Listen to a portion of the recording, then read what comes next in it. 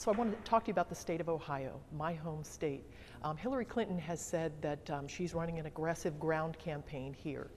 What are you and your campaign doing to make sure that you win in Ohio?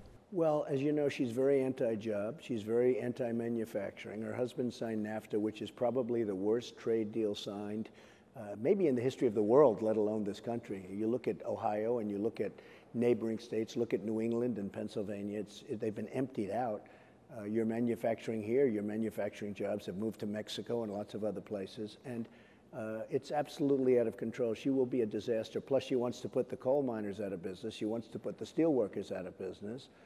So I don't know how she can do well in Ohio. I mean, she wants to put everybody out of business. And I guess she's catering to a certain group, maybe an environmental group. Nobody even knows what's happening. Uh, as you know, uh, a few months ago, she talked about the coal miners, that she's going to put the mines and the coal miners out of business.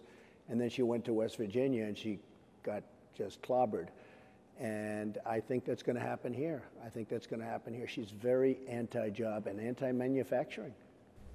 The upcoming debates, some are scheduled to go against NFL games, and you have suggested that that was rigged um, by the Clinton campaign.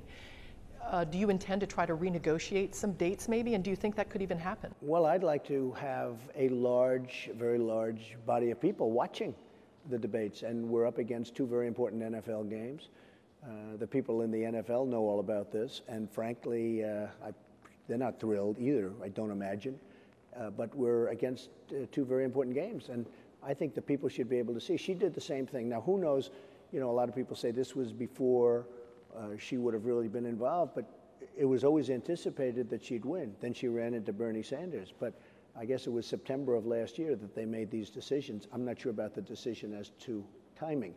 But I would like to see a large audience. I'd like to see a record setting audience. I think that's what it'll be, but I'm not sure, and I don't think you should be up against two big NFL games. Okay.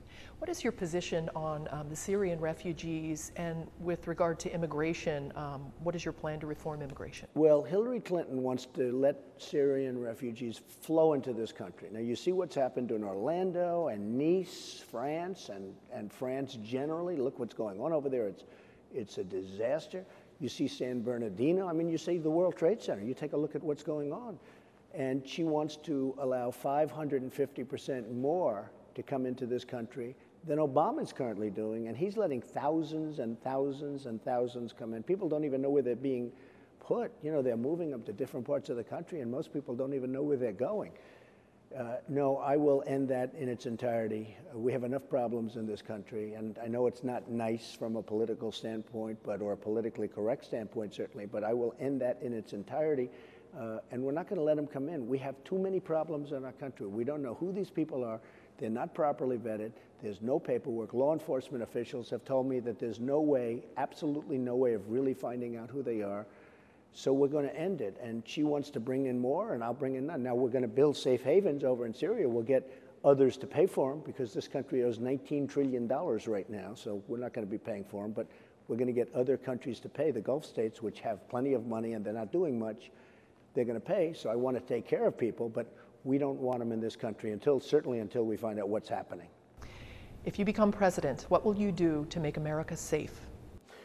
Well, I'll start with exactly your last questions. I mean, we're not going to let the Syrians come in with, you know, no documentation. Again, we don't know who they are, and you look at the violence that's been caused in other locations, and we're just not going to let it happen. Uh, and other terrorist states, you have many other terrorist states, and we're just not going to let them come in unless they're very, very, very extremely vetted and we'll make exceptions, I guess, if a head of a country comes in or something, but we're not going to let them come in. And the people of Ohio like that. I mean, I'm up in the polls in Ohio, and one of the things I don't like about her is she wants to increase it by so much. She wants to have tens of thousands more come in than even Obama is allowing, which is absolutely crazy. And the other is we're just going to have very strong borders. We're going to have extremely strong borders. Our southern border drugs are pouring in. We're going to build the wall. Mexico is going to pay for the wall. And the reason they're going to pay is because they make a fortune. You look at our trade imbalance with Mexico, it's massive. Mexico is going to pay for the wall, but we're going to have a wall that's going to stop the drugs from coming in, and it's going to stop some people that we don't want in this country from coming in. And we'll be able to work with Mexico, and we'll tell Mexico, listen, we don't want to have, when you look at all the violence that's been caused, whether it's in San Francisco and Los, uh, Los Angeles, I mean, look at what's going on. You have Kate Steinle You have uh, Jamiel Shaw. You have so much murder, killing, uh, and just destruction. So we're going to have it right. People, I want people to come into the country, but they have to come in legally through a process. And recent national polls have shown you running a bit behind Clinton, but yet other polls show that 70% of Americans do not trust her. So, how is that? Well, I think we're going to do very well. Uh, one just came out a little while ago. The Los Angeles Times came up where I'm up four or five points. Uh, it's probably a close race. I don't know why it would be a close race. She's going to be horrible for jobs and she's going to be horrible for safety and security. And you look at her past record with Benghazi and all of the mistakes she's made. Remember the famous uh, three o'clock in the morning phone call? Guess what? She was sleeping. So, uh, you know, you just look at what's going on and you look at the, the trauma that the country's going through. And I don't think anybody wants four more years of Obama, and that's what you're going to get, and maybe even worse. But they don't want four more years of Obama. Uh, and jobs, it's about jobs, it's about the economy. Uh, Mexico's not going to be taking our jobs out of Ohio anymore. They're not going to be taking our jobs out of other states and other places aside from Mexico. We're going to be very strong and very smart. Mr. Trump, thank you for the opportunity. Thank you. Thank you very much.